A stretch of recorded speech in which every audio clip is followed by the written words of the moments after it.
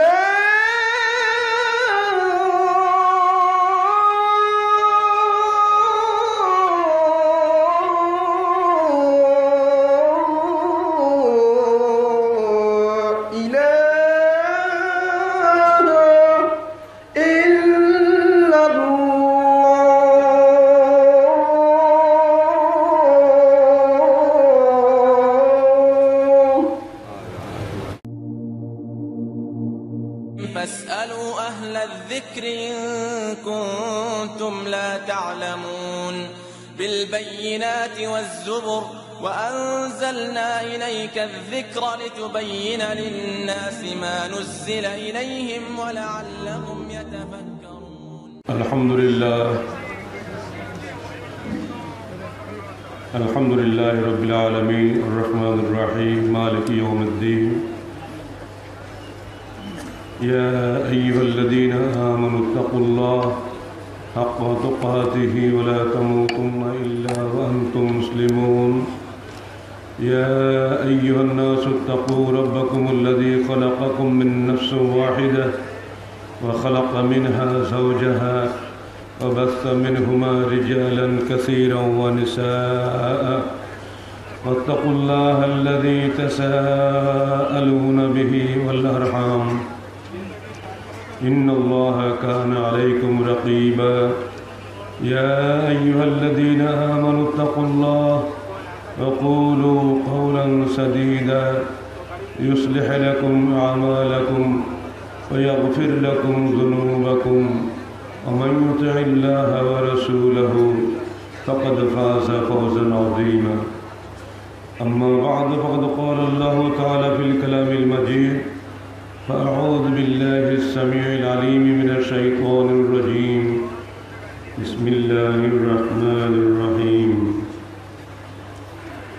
واعلموا أنما الحياة الدنيا لعب ولهب وزينة وتفاخر بينكم وتكاثر في الأموال والأولاد كمثل غيث أعجب الكفار نباته ثم يهيج فتراه مصفرا ثم يكون حطاما.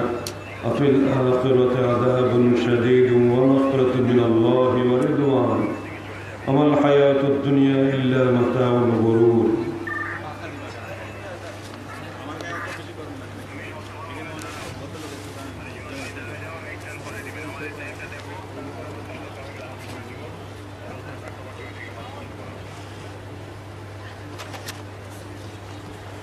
سابقوا إلى مغفرة من ربكم وجنة أرضها كعرض السماء والأرض أعدت للذين آمنوا بالله ورسله ذلك فضل الله يؤتيه من يشاء والله ذو الفضل العظيم যাবতীয় হামদসানা যাবতীয় প্রশংসা ও আরাধনা সে মহান আল্লাহ রবুল আলমিনের জন্য যিনি আমাদেরকে তার নিজস্ব মেহরবানিতে কোনোরূপ ঝড়, বৃষ্টি, আসমানি বা জমিনি কোনো বালা মুসিবত থেকে নিরাপদ রেখে আঠাশতম বার্ষিক তবলিগি ইজতেমায় জুমার খোদ্ায় সমবেত হওয়ার তৌফিক দান করেছেন। সকলেই বললেন আলহামদুলিল্লাহ। যাবতীয় দরুদ সালাত সেই নবীর শানে যা রেখে যাওয়া মহান আমানতের হক আদায়ের উদ্দেশ্যে আমরা এ ধরনের দাওয়া কনফারেন্স এ ধরনের দাওয়াতি মজলিস তবলিগি ইজতেমা করে থাকি। উদ্দেশ্য একটাই, তার রেখে যাওয়া কোরআন সুন্নার আমানত মানুষের কানে, মানুষের নিকটে পৌঁছে দেওয়া। আল্লাহ আমাদেরকে এই তৌফিকে দান করেছেন যে ব্যক্তির মাধ্যমে। সে মহান রসুল শেষ নবী, মহানবী, মহাবিপ্লবের মহানায়ক মোহাম্মদ রসুল্লাহ সাল্লাহ আলিয়া সাল্লামের জন্যই যাবতীয় দরুদ সালাম।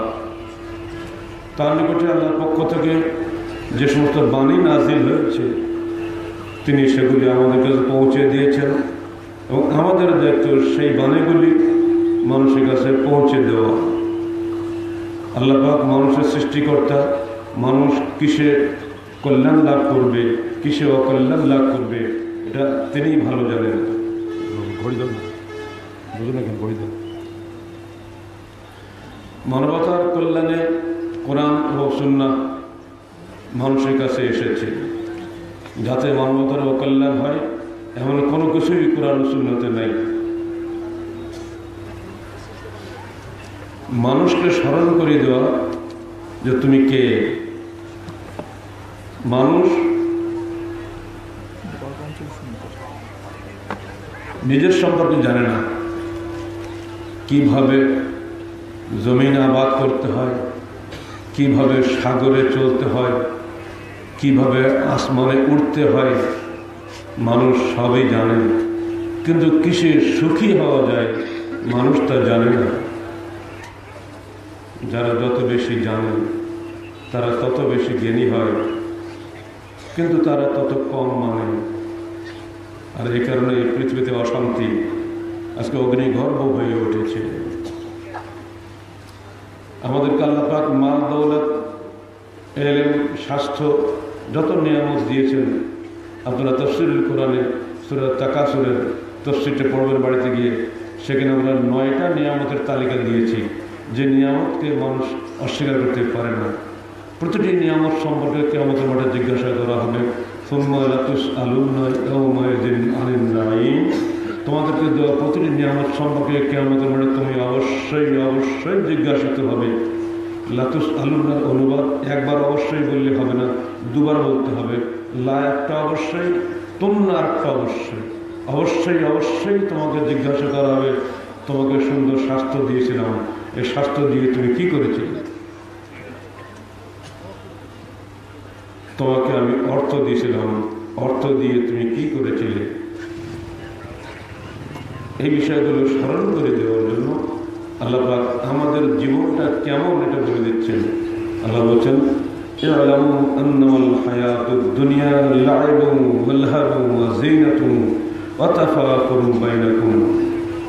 তোমরা জেনে রেখো, দুনিয়াবি এই জীবন, খেলাধুলা সৌন্দর্য প্রতিযোগিতা করা, গর্বের, অহংকারের পারস্পরিক প্রতিযোগিতা করা, মাল দৌলত অর্জনের প্রতিযোগিতা করা, সন্তান বেশি হওয়ার প্রতিযোগিতা করা, এইসব জন্য এই দুনিয়াটা। কামাশালে গাইয়ের বৃষ্টির তুলনা, যেমন আজবল কুফার নাবাতহু বৃষ্টি হলে চাষি খুশি হয় তার অঙ্কুরোদ্গমকৃত বীজ যখন চারা বের হয়, চাকি চাষির দেখে অত্যন্ত খুশি হয়। সুম্মাইয়া হিজু অতপর একদিন ওই চারা গাছটি বড় হয়ে পাতা শুকাতে থাকে। পাতারা মসফারান তখন তোমরা সেটাকে দেখো যে হলুদ হয়ে গেছে। সুম্মাইয়া কুল হোতায়ন অতঃপর ওই চারা গাছটি, এই চারা গাছটি তেজ হওয়ার পরে যখন পাতা শুকিয়ে গেল, একসময় তুমি দেখবে ওই পাতাটা ঝরে পড়ে।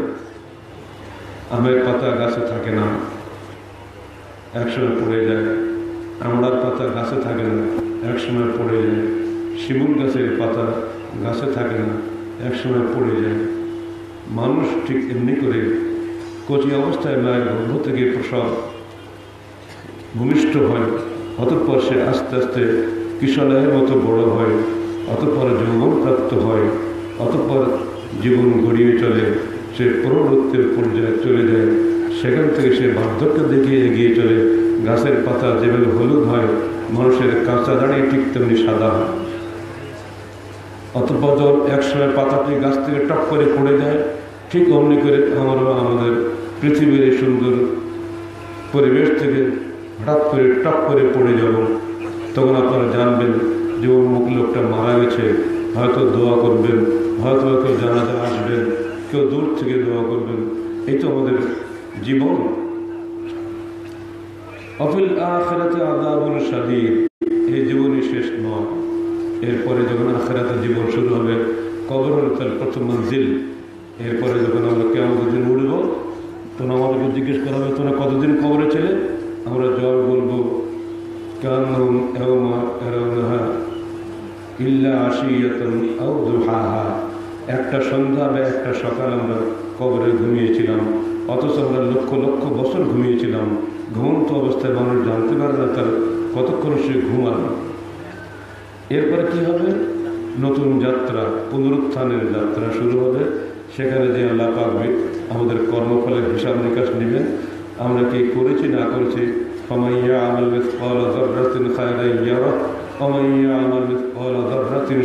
ইয়ারা এক জাররা পরিমাণ, এক সরিষা দানা পরিমাণ নেকির কাজ করে থাকলে ওটাও আপনার আমল রেকর্ডেড হয়ে আছে সেদিন দেখা হবে। একটা জাররা পরিমাণ অন্যায় কাজ করে থাকেন মন্দ কর্ম করে থাকেন সেটাও সেদিন দেখা হবে। এর প্রেক্ষিতে আমাদের ভাগ্যে তখন দুটা জিনিস হবে। এই আয়তের শেষেই বলে দেওয়া হচ্ছে, অফিল আফেরতে আদা বনসাদি আখেরাতে তুমি কঠিন শাস্তির সম্মুখীন হবে। অমাফরত মিনাল্লাহ রিদওয়ান, অথবা আল্লাহর পক্ষ থেকে ক্ষমা এবং সন্তুষ্টি লাভে ধন্য। আমার হায়াত দুনিয়া ইল্লা মতাউল গরুর দুনিয়াবী জীবনটা সেরে প্রতারণার মালমত্তা মাত্র কিন্তু মসুদ রাস্তায় চলছেন, যাওয়ার পথে একসময় বলছেন, হে আমার সাথীরা, তোমরা বসো, আমরা কিছুক্ষণ আখেরাতের কথা শুনি। অন্য রাজ এসছে তোমরা বসো, আমরা কিছুক্ষণ ইমান বৃদ্ধি করে নিই। এবার ইবনে মসুদ ওয়াজ করছেন সবার উদ্দেশ্যে, দেখো, আমরা কেন আখেরাত ভুলে যাই? তোমরা কি জানো? শোনো, আখেরাতকে আমরা দেখতে পাই না বলে আমরা আখেরাত ভুলে যাই। আর দুনিয়াটা সামনে দেখতে পাই বলে আমরা দুনিয়ার মালমাত্তাতে প্রলুব্ধ হয়ে পড়ি। যদি আমরা দেখতে পেতাম আখেরাতে আমাদের জন্য কি মালমাত্রা আল্লাহ মজুদ রেখেছেন, তাহলে আমরা কখনোই এই দুনিয়ার জন্য পাগল হতাম না। আমাদের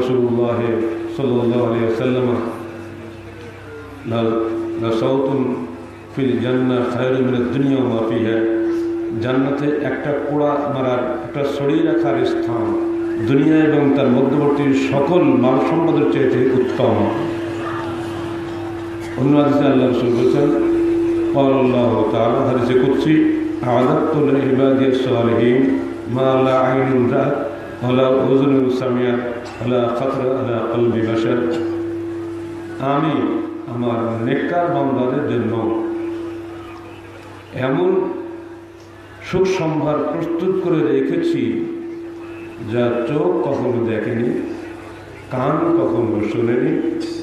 হৃদয়ে কখনো কল্পনাও করে তোমরা সেদিনের অপেক্ষায় থাকো। আল্লাহ রসুল শুয়ে আছেন, পিছনে দাগ পড়ে গেছে। দড়ির খাট, তারপরে খেজুরের পাতার বিছানো। এই খেজুরের পাটির উপরে খালি পিঠে শুয়ে কি পিঠে দাগ পড়ে না? ইবনে মসুদ এই দৃশ্য দেখে কেঁদে ফেলেছেন। হে আল্লাহ রসুল, আমি কি আপনার জন্য একটা তোষক বানিয়ে দেবো না? আল্লাহ রসুল জবাব দিচ্ছেন হে ইবনে মসুদ মানলি আমার দুনিয়া। আমার কি আছে দুনিয়া আমি তো একটা মুসাফির। গাছের তলায় যেমন মুসাফির, কিছুক্ষণ বিশ্রাম নেয়, আবার সূর্য গড়িয়ে গিয়ে ছায়া চলে যায়। আমিও তো গাছের নিচে বিশ্রামরত একজন মুসাফির মাত্র। আমার জীবনও গড়িয়ে যাবে। যে কোনো সময় আমি এখান থেকে চলে যাব। তা আমার কি দরকার এই সমস্ত খাট পালক লেপ পোশাকের এখানেই তো আমি ভালো আছি। আল্লাহ রসুলের জীবনী স্মরণ করুন আর ভাবুন, দুনিয়ার শ্রেষ্ঠ মানুষটি কীভাবে দুনিয়া থেকে বিদায় হয়ে গেছেন এটি হলো আমাদের তিনি হচ্ছেন আমাদের রসুল, তিনি হচ্ছেন আমাদের মোক্তাদা, তিনি হচ্ছেন আমাদের হাদি, তিনি হচ্ছেন আমাদের পথ প্রদর্শক। আল্লাহর বাণী শুনলেন। এবার একটা হাদিস শোনেন। عن عروة بن الزبير أن المسور بن مخرمة أخبره أن عمرو بن عوف هو خليفة خليفة بني عامر بن لؤي وكان شهد بدرا مع رسول الله صلى الله عليه وسلم. أخبره أن رسول الله صلى الله عليه وسلم بعث أبا عبيدة ابن ابن الجراح إلى البحرين يأتي بجزيتها. وكان رسول الله صلى الله عليه وسلم هو صالح أهل البحرين. وأمر عليهم العلاء بالحزم فقدم أبو عبيدة بمال من البحرين فسمعت الأنصار بقدوم أبي عبيدة فوافر الصلاة الفجر مع رسول الله صلى الله عليه وسلم فلما صلى رسول الله صلى الله عليه وسلم انصرف فتعرضوا له فتبسم رسول الله صلى الله عليه وسلم আমি সংক্ষেপ বলি বাহরাইনের এলাকা থেকে চুক্তি মোতাবেক জিজিয়া আদায় করার জন্য আমিনুল উম্মা আবু বাদের জার্রাহকে রসুল্লাহ সাল্লাহ সাল্লাম প্রেরণ করেছিলেন। তিনি সেগুলি নিয়ে যখন মদিনায় এলেন, তখন ফজরের সালাতে আনসাররা অন্যদের চাইতে অনেক অনেক বেশি গুণ সমবেত হয়েছিল। সালাম ফিরানোর পরে আনসারদের ভিড় দেখে রসুল্লাহ সাল্লাহ সাল্লাম তাবাসামা মুসকে হাসলেন। তারপরে বললেন আজম রকম সময় তুমান্না আবা ওবায়দা কাদেমা শাহী মিনাল বাহরাইন। আমার মনে হয় আবু বায়দা যে বাহরাইন থেকে বহু জিজিয়ার সম্ভার নিয়ে এসেছে, তোমরা বোধহয় শুনেছ। কাল আজাল ইয়া রসুল্লাহ তারা বলল হ্যাঁ আল্লাহ রসুল, আমরা শুনেছি।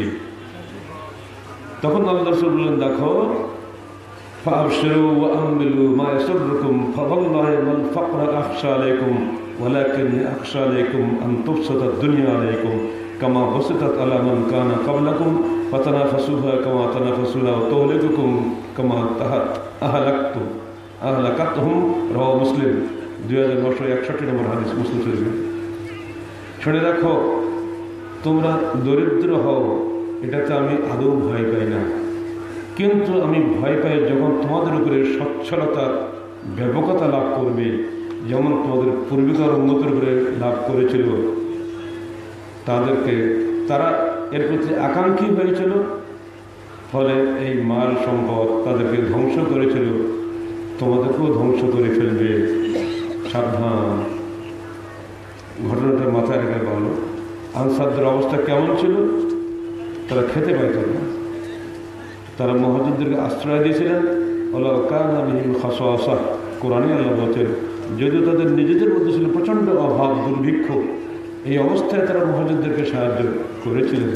আমাদের মাননীয় প্রধানমন্ত্রী দশ লক্ষ রোহিঙ্গাকে সাহায্য করার যে উত্তম দৃষ্টান্ত দেখিয়েছেন, সারা পৃথিবীতে তিনি প্রশংসিত। আমাদের কাছেও তিনি দোয়াপ্রাপ্ত। হ্যাঁ এতদিন পরে একটা দারুণ নেকির কাজ তিনি করেছেন। তিনি বলেছেন যে ষোলো কোটি মানুষ যদি নিজেরা খেতে পায়, দশ লক্ষ মেহমানকেও তারা কেন খেতে পাবে না? এই কথাটি আমরাও আমাদের সম্মানে অসংখ্যবার বলেছি। এটা কিন্তু অত্যন্ত অনন্য দৃষ্টান্ত যেটা মহাজির আনসাররা দেখিয়েছিলেন ইতিপূর্বে। সেদিন আনসারদের কোনো অন্য সংস্থা ছিল না। অথচ এই মানুষগুলি মহাজিরদেরকে আশ্রয় দিয়েছিলেন, এমনকি নিজের জমি অর্ধেক ভাগ করে দিয়েছিলেন, নিজের দুটো স্ত্রী থেকে একটা স্ত্রী দান করেছিলেন।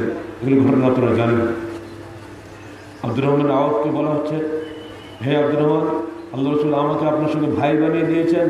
আমার এই দুটো স্ত্রী, দেখুন, যেটা আমি পছন্দ করেন সেটা আপনি দেন, আমি আমারটা আর একটা তালাক দিয়ে দিচ্ছি। এই আমার জমি জমা আছে, অর্ধেক আপনি নিয়ে নেন, বাকিটা আমি চাষ করব। আব্দুর রহমান আওয়াজ মুসকে হেসে বললেন, হে ভাই আমার, তোমার যে উদারতা অত্যন্ত প্রশংসনীয়, আমি তোমার জন্য দোয়া করছি। কিন্তু ভাই, আমি ব্যবসায়ী মানুষ, আমাকে ব্যবসা করার পথ দেখিয়ে দিন। কোথায় তোমাদের মার্কেট আছে, বাজার আছে, দেখিয়ে দিন। আব্দুর রহমান আওয়াব তার কাছে কিছু নিলেন না। তিনি ব্যবসা শুরু করলেন, পনিরের ব্যবসা। পনিরের ব্যবসা করে তিনি এত ধনী হলেন তবুকে যদি তিনি একাই চার হাজার দিনের দান করেছিলেন। যার পকেটে কিছুই ছিল না। বন্ধুরা আমার, মানুষের মানবতা নির্ভর করে মানব কল্যাণে। ভ্যালু কাকে বলে? যে অর্থ সম্পদ, যে বিদ্যাবত্তা মানুষের কল্যাণে কাজে লাগে না, সেটা কশ্চিনকালেও মানবতা নয়, ওটা ভ্যালুলেস একটা পশুত্ব ছাড়া কিছুই নয়। আল্লাহ আপনাকে ক্ষমতার অধিকারী করেছেন, এই ক্ষমতার পরীক্ষা আল্লাহ নেওয়ার জন্য আপনাকে ক্ষমতায় বসিয়েছেন। আপনি নিজ ইচ্ছা ক্ষমতায় বসান নাই, কারণ কোরআন বলছে কুল্লাহ মালিকাল মুলকে তৌতিল মুলকে মন্তশা অত আয়স মন্তশা অত দিল্ল মন্তশা বিয়াদিকাল খায় আল্লাহ মানুষকে ক্ষমতায় বসান, আল্লাহ মানুষ থেকে ক্ষমতা চিনিয়ে নেন। তিনি মানুষকে ইজ্জত দান করেন, তিনি মানুষকে জিল্লতিতে ফেলেন। সবই তার কল্যাণ হাতে নিবিষ্ট। তার হুকুম ছাড়া কিচ্ছুই হয় না পৃথিবীতে। নিঃসন্দেহে তিনি কল্যাণের স্বার্থে এটা করেছেন। অতএব আমাদের কর্তব্য হবে কি? মূলত যিনি যেখানেই আছেন, তাকে স্মরণ করিয়ে দেওয়া। আল্লাহ পাকের এই দান কিন্তু আপনাকে পরীক্ষা করার জন্য। যিনি যত বড় বেশি নিয়ামত প্রাপ্ত, তিনি তত বেশি পরীক্ষায় নিক্ষিপ্ত যিনি যত বেশি বিদ্যান, তাকে তত বেশি কৈফিয়ত দিতে হবে। পাঁচটা জিনিসের কৈফিয়ত না দিয়ে কোনো আদম সন্তান কেমন মাঠে পা ফেলতে পারবে না। প্রথম, তার জীবন কোন কাজে ব্যয় হয়েছে?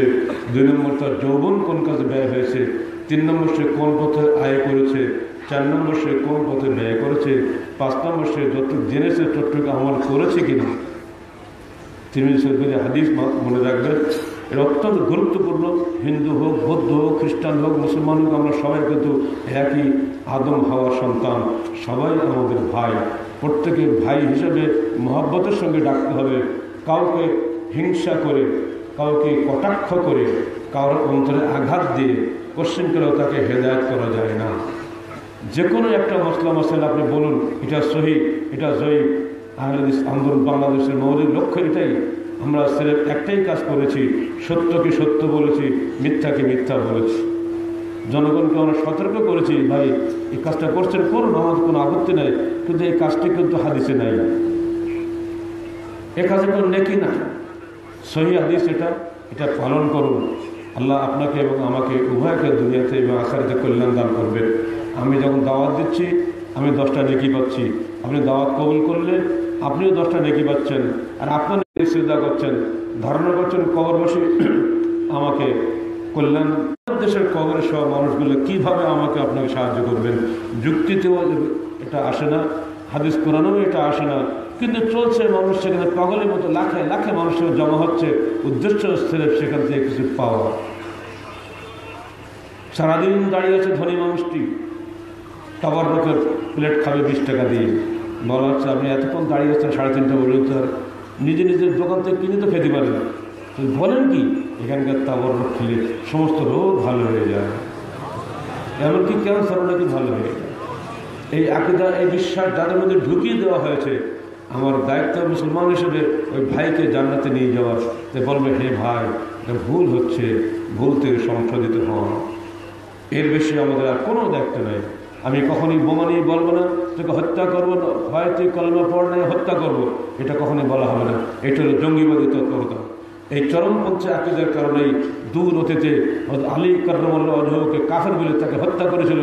হজরত জামাতে যাওয়ার সময় পাঁচক্ত সালাদ আদায়কারী ব্যক্তিরাই তারা বোঝে নেই ইসলাম কাকে বলে ইসলাম অর্থই মূলত সার্বিক জীবনটা আল্লাহ নিকটে আত্মসমর্পণ করে দেওয়া।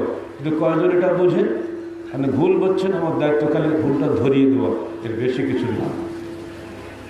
এই শান্তিপ্রিয় আন্দোলন হওয়ার কারণে আহলাদেশ আন্দোলন বাংলাদেশ আপনাদের কাছে এত দ্রুত জনপ্রিয়তা লাভ করেছে। সুদূর বরগুনা থেকে, কক্সবাজার থেকে, চিটাগাং থেকে, ঝালকাঠি থেকে, বরিশাল থেকে, পিরোজপুর থেকে, সাতক্ষীরা থেকে পঞ্চগড় থেকে, বাংলাদেশের সকল প্রান্ত থেকে আজকে নবদবড়া তবলিগ ইস্তেমাজ মানুষ হাজির হয়েছেন। কিসের মহব্বতে? সির্ফ দিনের মহব্বতে কি নয়? স্রেফ সহি আদেশের মহব্বতে কি নয়? কারণ আপনারা বুঝে গেছেন ইতিমধ্যেই যে পথে আমরা ছিলাম, এই পথ সঠিক নয়। ইসলাম কখনোই চার ভাগে বিভক্ত নয়।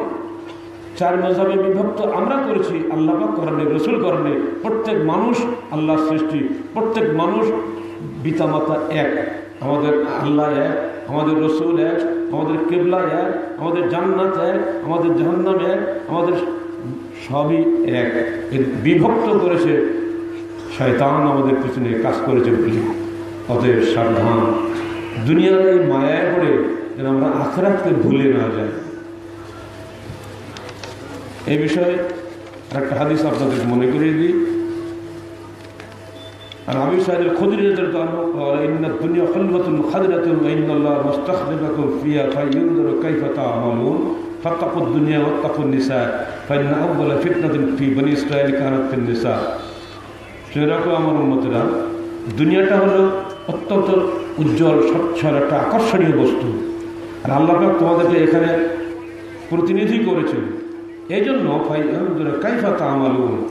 তিনি দেখতে চান কীভাবে এই পৃথিবীটাকে তোমরা পরিচালিত করো, কীভাবে তোমরা এখানে কাজ করো। ইতিপূর্বে জিনেরা ছিল, তার পৃথিবীকে নষ্ট করে দিয়েছিল। জিনের, জিনেদের হটিয়ে দিয়ে আমরা এখানে মানুষকে বসিয়েছি। বিখ্যাত ইহুদি পণ্ডিত পরবর্তী মুসলমান কাহাবাল আহবার তাকে জিজ্ঞেস করা হলো, হে কাহাবাল আহবার তুমি কী মনে করো, এই পৃথিবীতে এই যে ফেরেস্তা আছে, এটাকে তুমি বিশ্বাস করো? তো কাহাবাল আহবার তো অবশ্যই। যদি ফেরেস্তা না থাকতো, জিনেরা তোমাদেরকে উড়িয়ে নিয়ে চলে যেত। আল্লাহর হুকুম হয়েছে বলেই জিনেরা তোমাদেরকে উড়িয়ে নিতে পারে না। অতএব যে জিনেরা এখানে ছিল, তাদের হিংসা তোমাদের উপরে বেশি। যে মুসল মানুষেরা এখানে আবাদ পাচ্ছে শান্তির সঙ্গে, এদেরকে শান্তির সঙ্গে থাকতে দিব না। আলী কার্লামকে বলা হলো, হে আলী, আপনি এখন রাষ্ট্রপ্রধান খলিফা। আপনাকে যে কোনো সময় মানুষ মেরে ফেলে দিতে পারে। তো আপনি একটু দেহরক্ষী রাখেন। আলী বলছেন, দেখো, আমার তো দেহরক্ষী দুই কাঁধে দুলের ফেরস্তা আছেই। কেরামান কাতবি আমি যে কী করছি, না করছি, সব তো ওনারা জানে। আল্লাহ দুই ফেরস্তা আমাকে সবসময় গাইড করছে। এখন যদি মনে করেন, আমার আল্লাহ যে আলীকে আর দুনিয়া রাখব না তখন ওই ফেরস্তা দুটো সরিয়ে দেবে আলী নিহত হবে, শহীদ হবে। অর্থাৎ আমি আমার দেহ রক্ষার জন্য আলাদা দেহ রক্ষী রাখব, এটা আমাদের কখনই সম্ভব না। কি ইমানের কথা চিন্তা করেছেন? এটা হলো ইমান। এই মেজাজ নিয়ে, এই সাহসিকতা নিয়ে আপনাকে সামনে আল্লাহ দিন পালন করে যেতে হবে, ইনশাআল্লাহ দুনিয়া কেউ আপনাকে ঠেকা দিতে পারবে না। যখন মানুষ মরে যায়, তিনটা জিনিস তার সঙ্গে যায়। দুটো তার রেখে ফিরে চলে আসে। তার পরিবার তার সঙ্গে যায়, পরিবার ফিরে আসে। তার মাল তার সঙ্গে যায়, মাল ফিরে আসে। আমল তার সঙ্গে থাকে। সেই কবরে তার সামনে গিয়ে বলে, আনা মালকা, আনা কাঞ্জুকা, আমি তোমার মাল, আমি তোমার সঞ্চিত ধন।